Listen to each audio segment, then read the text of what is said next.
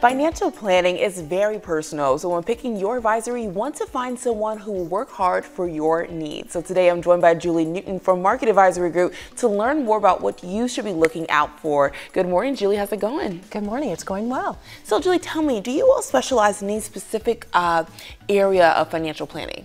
So, the kind of financial planning that we typically do is retirement planning, um, but we don't just look at it from the financial advisor perspective. We um, employ an entire team. So, we have Medicare, estate planning, as well as tax planning and the financial advising piece to make sure we're covering the full retirement picture rather than just a small portion of it. Okay, now there is a little risk in your profession, all right? So, how do you assess that risk and move forward with that? So risk is um, very common um, in advising. Um, there's you know there's a wide variety of different sort of things, but the way to approach um, risk from our perspective is to look at the individual. So um, you know, what are the individual's needs? What are their income needs? What are their goals of retirement?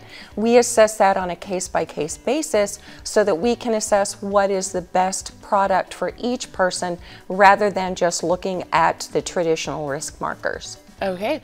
So, are there typically fees for retirement planning? How do you make sure that your clients don't fall through any uh, trapdoors? So, first of all, um, there are different fees associated with different sorts of investments. Mm-hmm. Um, and then the other piece of it is making sure we're very transparent in our fees. We spend a lot of time going over fees with each person.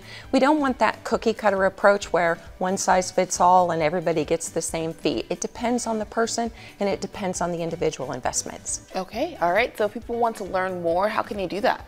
The best way is to either go to our website, marketadvisorygroup.com, and look for some of the upcoming workshops in the area, or they can call our phone number at 816 548 2000 and schedule an appointment today. Okay, thanks so much, Julie. Thanks.